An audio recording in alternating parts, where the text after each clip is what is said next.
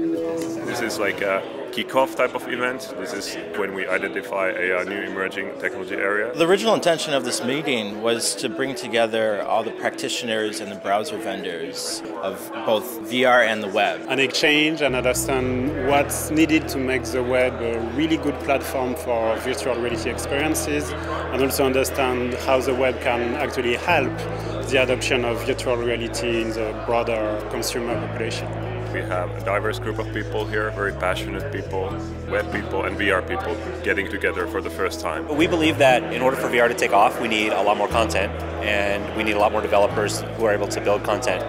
And so we think that web technologies enable uh, kind of the next generation of developers, basically an order of magnitude or even two orders of magnitude increase in content availability. Up until now, our VR work has been focused on uh, a number of partnerships that we have with companies in the industry, but we're looking at the whole of the space and uh, interested in making sure that everybody can get access to this fantastic content. I think WebVR as it is today is the right direction using WebGL and some of the WebGL frameworks, frameworks like ThreeJS finishing that core up and then also focusing on performance that will bring us a long way to where we want to be.